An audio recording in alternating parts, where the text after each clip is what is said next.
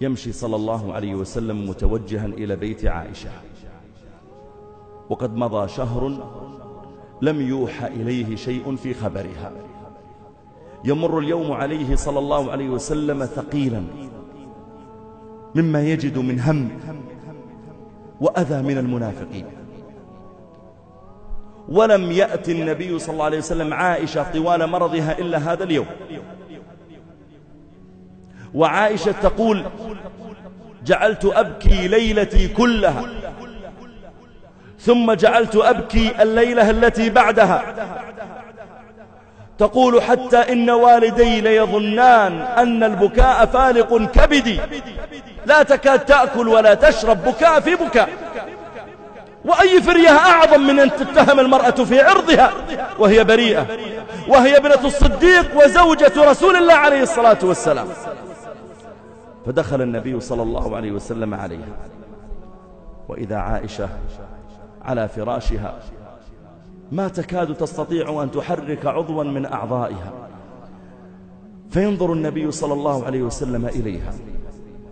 وإذا هي حبيبته وزوجته التي يلاعبها ويضاحكها ويؤانسها طالما قضى معها أحسن الليالي والأيام.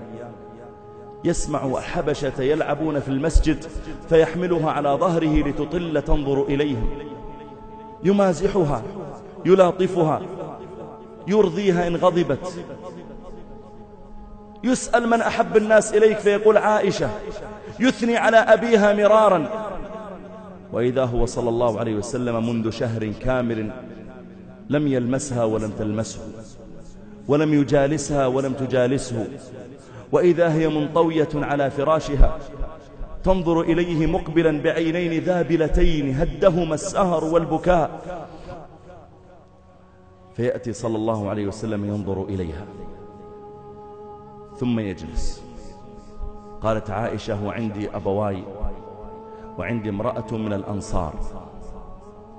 فلما جلس التفت صلى الله عليه وسلم إليها. وجعل ينتزع الكلام انتزاعا. قال يا عائشة إن كنت ألممت بذنب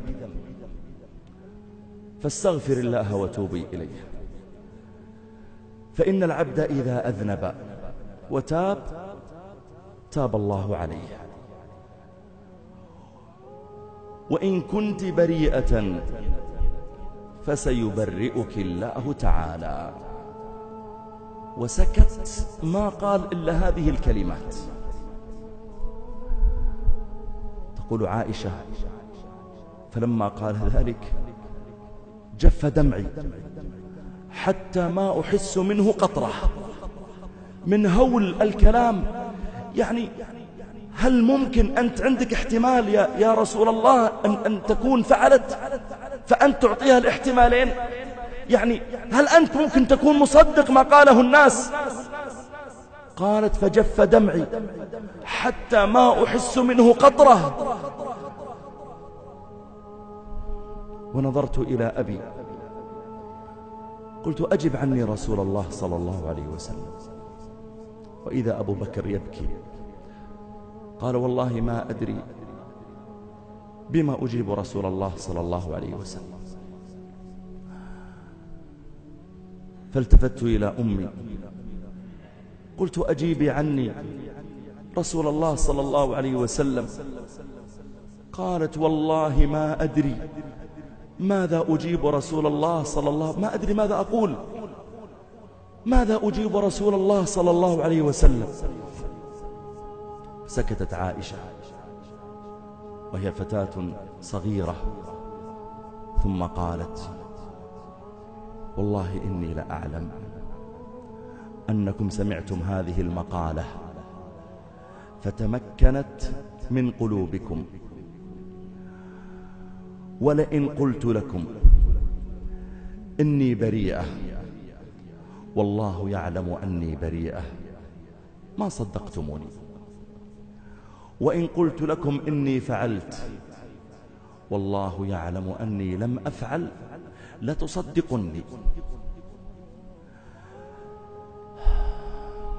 لكني والله لا أجد لي ولكم مثلا. إلا كما قال وأرادت أن تقول يعقوب فلصغر سنها نسيت اسمه. قالت إلا كما قال أبو يوسف. فصبر جميل. والله المستعان على ما تصفون. تقول ثم تلففت بلحافي وانفجرت أبكي.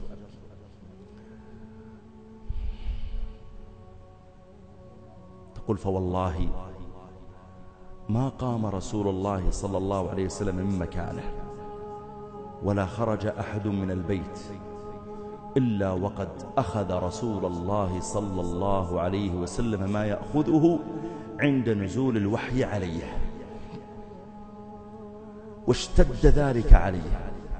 وكان سيدنا رسول الله صلى الله عليه وسلم إذا نزل عليه الوحي اشتد عليه الأمر وتصبب عرقا حتى يرتفع عنه. حتى إن أحد الصحابة كان جالسا بجانب النبي صلى الله عليه وسلم ورسول الله عليه الصلاة والسلام متربع على الأرض والصحابي بجانبه وركبة رسول الله صلى الله عليه وسلم على ركبة هذا الصحابي. فنزل الوحي على رسول الله عليه الصلاة والسلام. قال الصحابي فثقل حتى كادت ركبتي تندق من الثقل. إنا سنلقي عليك قولا ثقيلا. تقول فأخذه ما كان يأخذه. عرفت أنه يوحى إليه. ثم سري عنه. فالتفت إلى عائشة. قال أبشري يا عائشة فقد برأك الله تعالى. قالت فقالت لي أمي قومي احمدي رسول الله. قومي سلمي عليه واشكريه. وقال أبي قوم احمدي رسول الله صلى الله عليه وسلم. قلت والله لا أحمده. إنما أحمد ربي. إنما أحمد ربي. تقول ولم أكن أظن. أن ينزل الله في آيات في القرآن. إنما كنت في نفسي أحقر من أن ينزل القرآن في. إنما أقول لعل رسول الله صلى الله عليه وسلم يرى في رؤيا. وأنزل الله تعالى تسع آيات. في أول سورة النور. وتكلم الله العظيم بحجتي وبراءتي في محكم القرآن. والله خافرني وعظم حرمتي وعلى